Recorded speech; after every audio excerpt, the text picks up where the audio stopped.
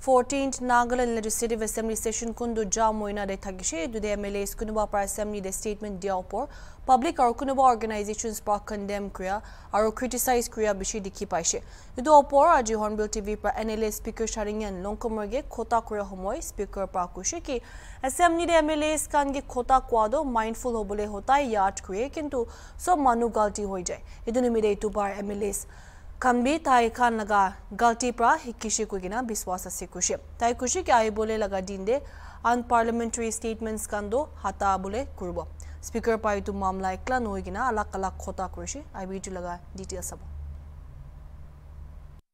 All right, thank you for sparing your time for Hornbill TV, sir. So we have the Speaker of the Nagaland Legislative Assembly. This time, the fact that the NLA the assembly is an oppositionless government, sir. And just few uh, days ago, weeks ago, we had the session again, sir.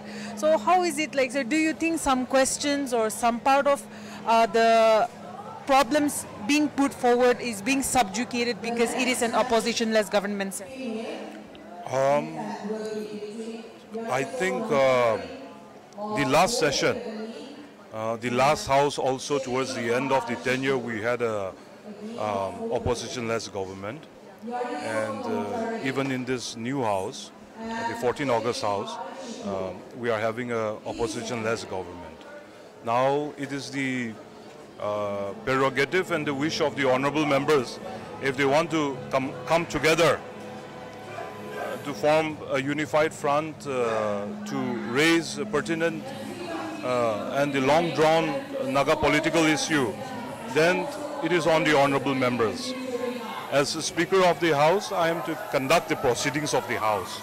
So, um, how it undermines uh, parliamentary democracy, I don't think there is any points to it. The last session, we had a wonderful, productive session. Um, you may be uh, pleased to note that in the last uh, 13th House, we had uh, 14 point, um, 75% of uh, members in a house of 60, which comes around to roughly 26 members, who were between the age of um, 65 to 86 years.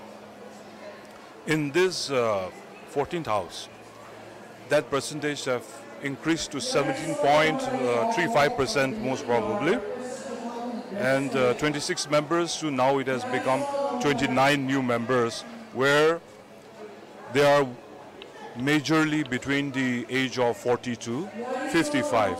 So we are seeing a transition and all the honorable members, um, especially the, um, the fresh ones, the first timers that are coming into the house, uh, they are coming with a lot of experience from the grassroots and in the constituency per se, respectively. So they are um, participating in the discussions and uh, in the questionnaire also. And so the house is not affected in any way. The business is proceeding as it should be.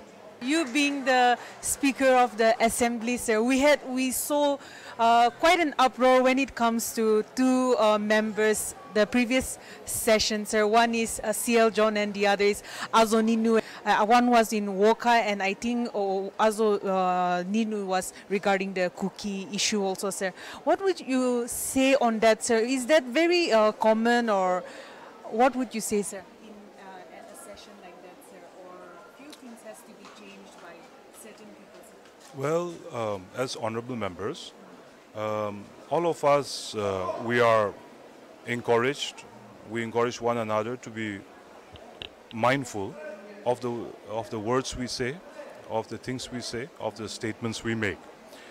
Um, but having said that, uh, in the well of the house, sometimes, many a times, since the honorable members are coming from respective constituencies, and the issues that they are raising and are under discussion are so pertinent to the people that the emotions and sentiments also uh, get entwined in the discussion. And so, uh, to err is human, so we do make mistakes. As the speaker, it is my prerogative that uh, such unparliamentary uh, statements are expunged from the proceedings for public consumption. And so, what I have to do, I do it. So it's very unfortunate that um, uh, such a situation uh, unfolded. Very, very uh, um, unfortunate. I hope that uh, honorable members have learned from the process and we become more mindful in the future. So how about the urban local bodies, sir? A committee has been formed to discuss or to put forward the municipal act, sir. So when can we expect this act coming into its full form, sir? In the last uh, assembly session, uh, the government uh, made the desire to introduce the municipal bill. And the bill was introduced. All the honor honorable members participated in the discussion because it, uh, uh, the concern of the civil society on the uh, certain provisions of the Municipal Act of 2001 and the amendments thereafter was uh, objected. And so in that regard, uh, a lot of discussions was had. And so the House decided that it should be uh, referred to a select committee of the Assembly, which is headed by um, uh, Honorable uh, Deputy Chief Minister and Parliamentary Affairs Minister. And so uh, they are um, having round of discussions, I believe. I was away for almost three weeks, so I'm trying to update myself on the uh, process that have been established. So hopefully, when the select committee comes back with the findings, then I think the House will be ready to reintroduce the bill for passing and adoption. All right, so lastly, um, 43 TAPI AC by polls is going to be conducted on November the 7th, sir. And so far, NDPP and Congress have already filed their candidates. You being a member of NDPP BJP Alliance Party, are you confident in your party winning this time? As, as um, a Speaker of the House, um, I would welcome any of the honorable members uh, who win the 43 uh, Tapi Assembly constituency. It would be a good addition to the House.